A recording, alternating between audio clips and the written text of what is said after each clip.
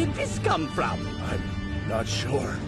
It looks as though he's managed to transform somehow and take on the incredible strength the Saiyans have whenever they become great apes. Only he's remaining in his human form, retaining his speed and agility. How the hell do you know that?